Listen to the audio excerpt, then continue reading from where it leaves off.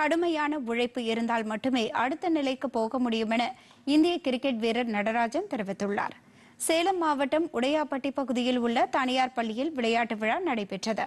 இதில் இந்திய கிரிக்கெட் வீரர் நடராஜன் கலந்து கொண்டு விழாவினை தொடங்கி வைத்தார். தொடர்ந்து போட்டிகளில் வெற்றி பெற்ற மாணவ மாணவிகளுக்கு பதக்கம் மற்றும் சான்றுகளை அவர் வழங்கினார்.